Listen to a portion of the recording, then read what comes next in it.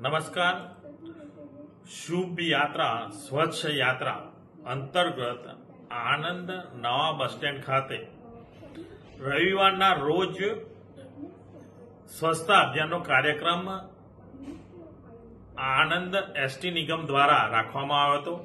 એ કાર્યક્રમમાં હું પોતે અને ધારાસભ્ય યોગેશભાઈ પટેલ, નગરપાલિકાના પ્રમુખ જિગ્નેશભાઈ પટેલ સાથે અમે ત્રણેય સ્વચ્છતા અભિયાનમાં જોડાયેલા.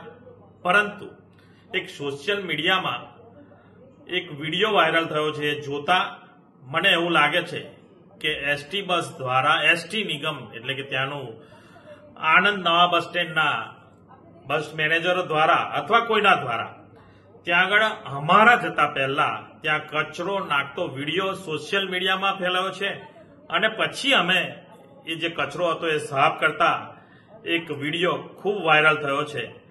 પરંતુ એ માટેના મેં જે નિગમ છે, એના જે મેઇન અધિકારી છે એસટી નિગમના, એ નિગમના મેઇન અધિકારી સાથે ટેલિફોનિક વાત કરી છે.